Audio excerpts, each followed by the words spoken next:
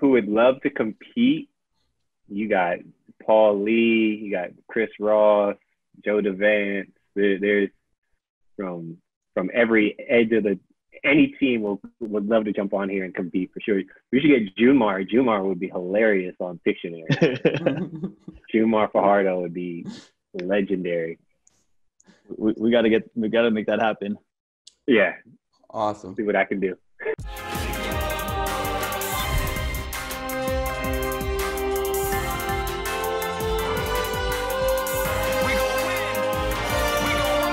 East Asia Super League, the emerging basketball league for Asia, now brings you Ballerific, a new show featuring the best professional ballers from around the region, up close and personal.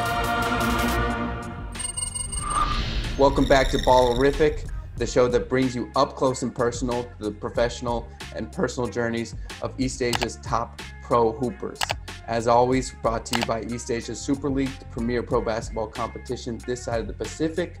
My name's Alex Olin. I'm joined by Banjo Albano. Our first guest tonight, he played a stint in NBA G League with Erie Bayhawks, affiliate of New, York, New Orleans Pelicans. Was a KBL Finals MVP in 2019 during his time with Ulsan Hyundai Mobis Phoebus, and recently signed a three-year contract as a free agent to join the Goyang Orion Orions this May. Everybody, please welcome Lee Dae-sung. Lee, how are you? Thanks for joining us. Hi, it's nice to meet you all. I'm Dae-sung Lee from Goyang Orions. I'm happy to meet the fans out in Asia, and thank you for having me here. Our second guest is a member of the George Mason University men's basketball team that made a historic run to the U.S. NCAA Final Four in 2006, the PBA Slam Dunk champion in 2009, the 10-time PBA All-Star and two-time PBA champion in 2012 and 2016, and a longtime member of the Philippine national team. What's good, Gabe? Hey, Gabe Norwood, Another- everybody. Another day, another day. Thank you guys for having me. Um, yeah, it's been a long time coming, so it's good to good to see everybody. It's awesome. Thanks for, thanks for joining us, guys. Congratulations on advancing to the semifinals of the KBL Cup. You know, how does it feel to get back on the court with your new coach and teammates? Uh, it feels great. It feels great. Uh, there have been a lot of changes, but uh, I personally look forward to this season. And I have known players of Orions for a long time. A couple of players I met in national team. So on and off the court, we get along well. And Coach Gang is giving me, giving me a lot of advice on how I should play and giving me a lot of freedom. So I hope I can show fans fun basketball this season. And Gabe, you've been one of the most prominent figures in the PBA since you were drafted first overall in 2008 by Rain Shine Elasto Painters. Uh, since then, it's no exaggeration to say you've done it all in the PBA. You've won championships. You've been an All-Star multiple times, a Defensive Player of the Year, Rookie of the Year, and even Slam Dunk Champion, as mentioned. What's one of the most prominent, I guess, memories you've had since you, you started in the league?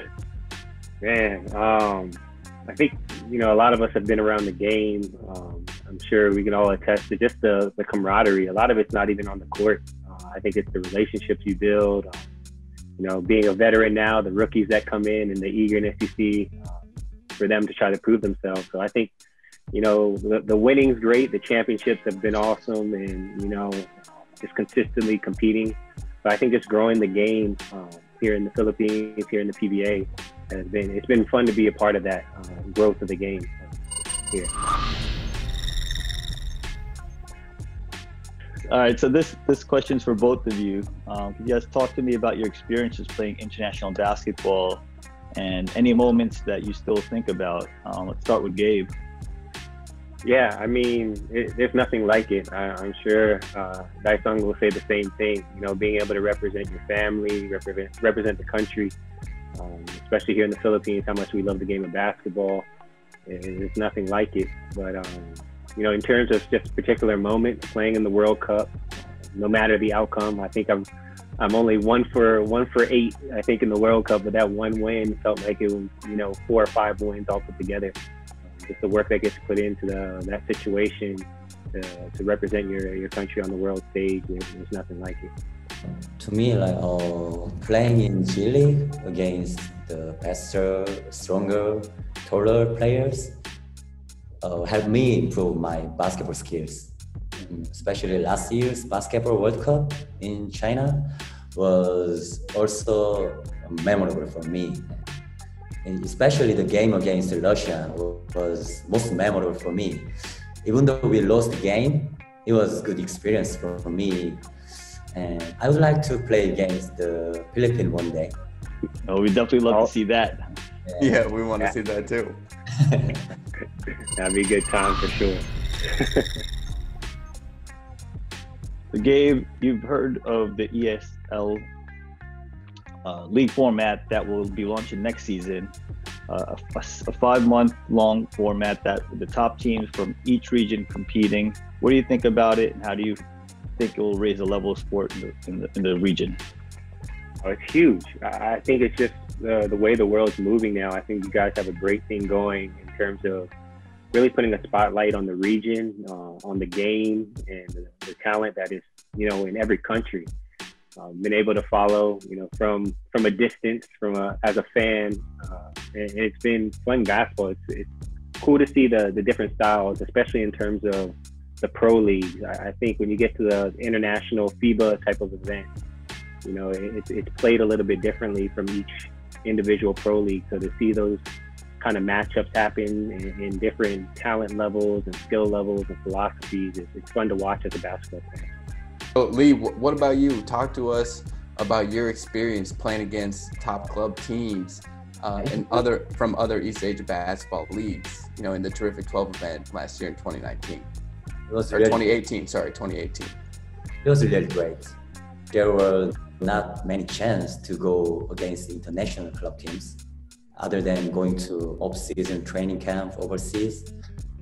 So it was great going against top teams in Asia in offshore tournament like uh, in Terrific 12.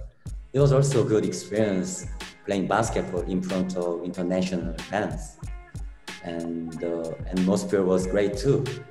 I hope there are many events like this, like the Terrific 12, and so that we can show that KBL League and the players are competitive and can perform as out in Asia.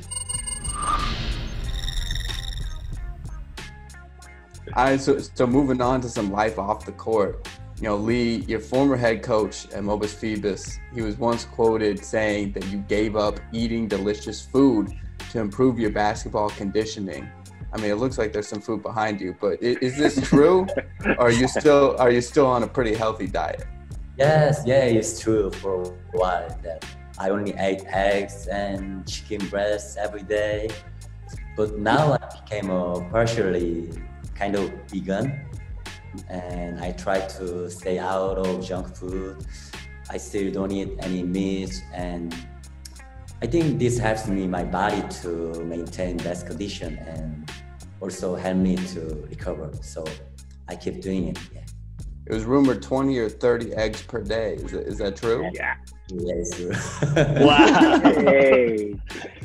Wait, just just like just you just drake them raw, or you like hard boiled them, or what? eat three eggs, eat water. Yeah, that's it. That was my meal plan. Yeah. Hey.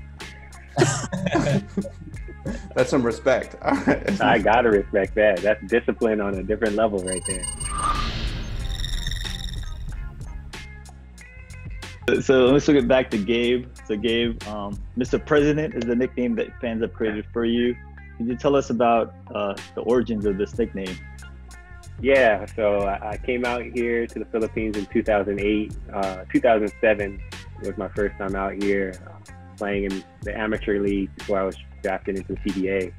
And it, it was a nickname, you know, at the time Barack Obama was in office in the States. And, and I think my hair was a little bit shorter then and was, was compared to Barack. You know, Barack is a basketball player himself. And it was just one of those nicknames that stuck. It, it stuck for a while. And I think kind of just my personality and my role um, with my team as a leader and a vet uh, kind of just kind of embodied that whole that whole nickname as well. So it, it stuck with me.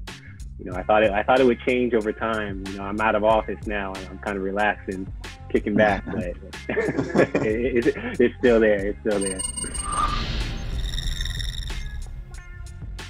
So, so Lee, we we talked about your international experiences. You spent a decent amount of time in the U.S.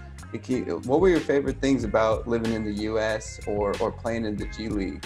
And what do you miss about uh, about living in Hawaii or Pennsylvania? Oh, I just missed the Hawaii. Like Hawaii was the first time living in overseas for an ex- extended time, but you know, you can say anything bad about weather in Hawaii. I could visit Hawaii for vacation with my family. Sounds like you might like Philippines too. Right? Yeah. I love Philippines too. For sure. So, so sticking on that note, Gabe, um, you know, Gabe knows a lot about Hawaii and Pennsylvania. You That's wild. I was gonna say the same thing. You know, Yeah, when I read this, when I read the script and I saw uh, Hawaii and Pennsylvania, I actually thought it was for Gabe. But um, you guys, again, uh, you guys share some commonalities there. Yeah, that's wild. Super small world. Uh, my dad, my, my Filipino side is from Hawaii. Um, my dad played college football at the University of Hawaii in the 80s. And then we actually, I ended up graduating high school. My dad coaches American football collegiately. And I ended up graduating high school in central Pennsylvania, uh, in State College, Pennsylvania. So we definitely have some connections. Uh, that's, um, we have some, we have some ties.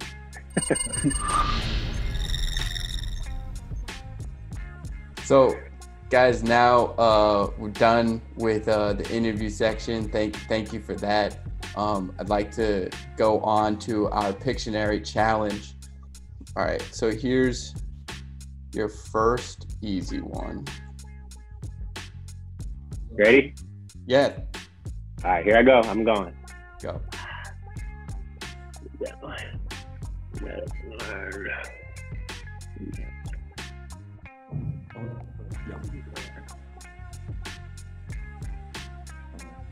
Carl, Oh, Yeah. he got it. Yeah. yes. All right, that was go. that was 16 seconds. 16 Let's seconds. go. All right, now we're going. Now we're going to medium. Your second word. All right, here I go. Uh,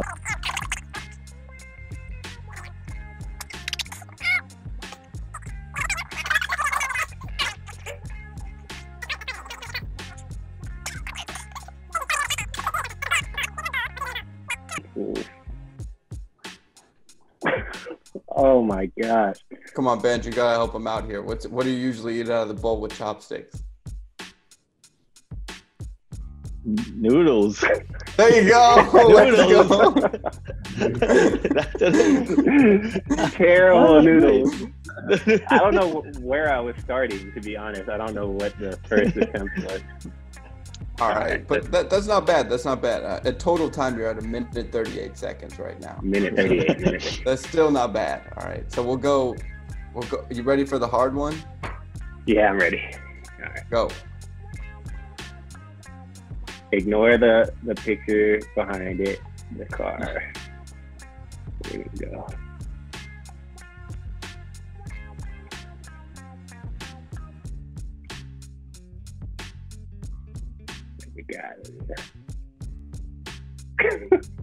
That's looking pretty good. Ah. So, what else can we do? We got some. birthday cake. Oh, Yeah. you got it. Let's go, Lee. right. That was good. Pictionary All right, so- champ over there. So total time. Total time is is 213. Two minutes. thirteen. Two minutes 13 seconds. That's not bad. All right. Well, let's uh, Benj, let's do this. Let's you choose uh, an easy, a medium, and a hard for for Lee, and then All right. me and, and then me and Gabe are guessing leagues. okay, go.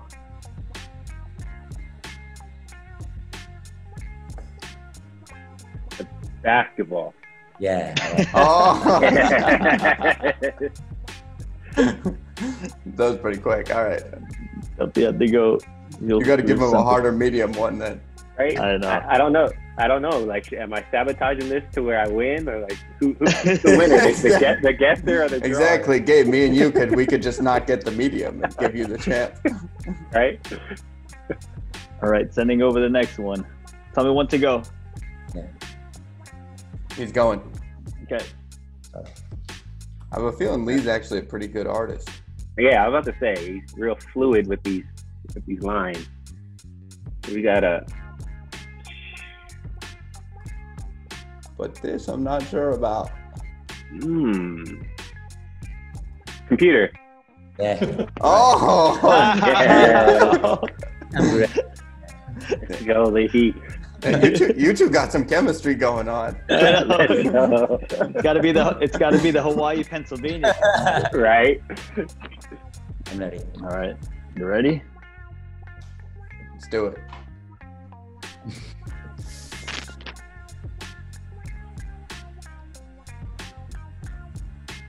Uh,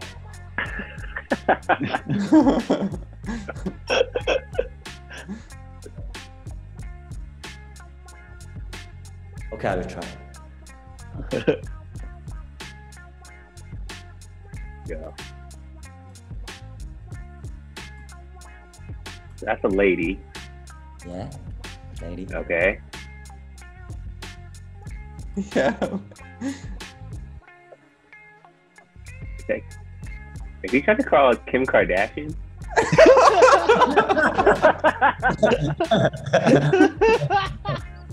am I right? You're probably right.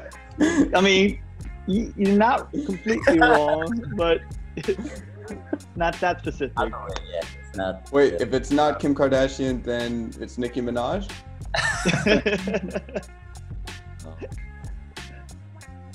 so confused. I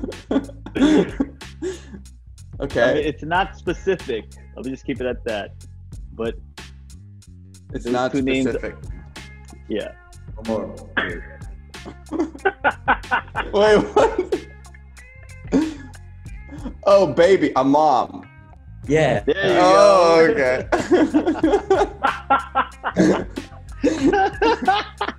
I went completely the wrong route. yeah, you, on yeah, you went literally the opposite direction. one. But Kim Oh, Kardashian man. is a mom. So true. you're That's what I was thinking. wrong. It makes That's sense. exactly where I was. It makes sense. Oh man. And I, think, and I believe Nicki Minaj is going to be a new mom. So you guys are kind of right. exactly. there we go, both points. Who, who that won was uh that was a minute and fifty seconds. Oh, Solid. okay. All right. Then, I mean, we got to give the, the win goes to Lee, but just only by 20 seconds. It was really close. With that, guys, that, that concludes our challenges. Um, thank, thank you for coming and competing and, uh, you know, participating in the first ever Pictionary challenge. Um, and appreciate your time too with the interviews. Thanks, guys. Pre- appreciate the time.